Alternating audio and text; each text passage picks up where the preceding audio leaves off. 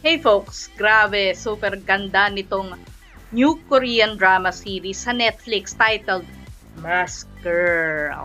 Tatlong actresses ang nagplay ng bidang si Kim Momi at ang isa sa kanila, yung pinakabatang Kim Momi, siya ay neophyte lang, as in baguhan. So wala pang info masyado sa kanya but she played the role very well.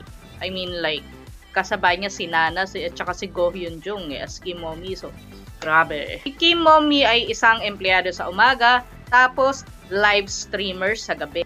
Hindi siya binayaan ng magandang mukha, kaya nagtatago siya sa likod ng maskara. Pero marami namang nabighani sa galing niyang sumayaw at mag-entertain. Iba't ibang mukha ng pag-ibig ang papakita dito na magdudulot ng kapahamakan. Style niya ng storytelling ay parang sa ongoing K-drama na moving kung saan binibigyan muna ng matinding backstory ang uh, mahalagang character habang dinadagdag sa main narrative. Hindi ko in-expect na revenge drama ito. Akala ko mystery siya dahil nga may serial killer daw. And for me, mas maganda talaga to sa Glory. Kasi ang bilis ng pacing niya and alam niyo naman, padira lang talaga, mga romance angle. Sa totoo lang, akala ko nung una, si Yom Yera na sobrang importante ng role dito. And mahal, marahil ay napanood nyo sa The Glory at sa ongoing na Uncanny Counter. Akala ko siya yung mask girl. Tapos, gumagamit lang siya ng bonggang filter para bumata yung pagmumukha niya. Pero hindi pa. Snippets lang kasi ng trailer yung nakita ko.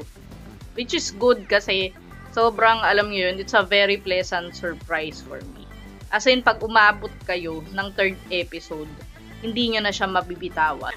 Mas, masarap i-binge watch to ng isang upo. Nabanggit ko sa Go Yun Jong dito, so hindi lang kayo magugulat sa role ni Yom Yaran, kundi sa pagka-immortal ni Go Yun Jong, who by the way played Lady Michelle na I'm sure marami sa atin nakapanood ng Queen Shondok, di ba? Lalo na kung batang 90s ka. So, 52 na yung babaeng ito ah, pero grabe itsura niya dyan ah.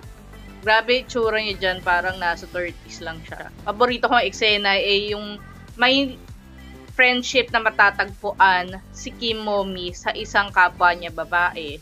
Yes, friendship lang, not more than that. Pero, wala na kayong mag, ano, mag-ship. Anyways, tapos siya na nga, um, magli-lead ito sa, you know, pagtulong niya makaalis yung babae sa isang toxic relationship. So, yun na lang sasabihin. Natutunan ko dito is that um, if we are just kinder to other people, so, mawawala, na, mawawala yung cycle ng hate, ng revenge.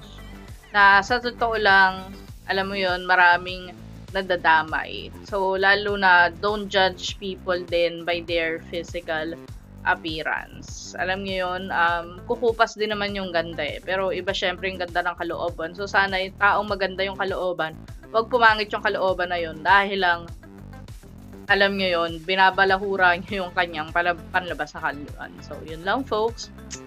Mask Girl.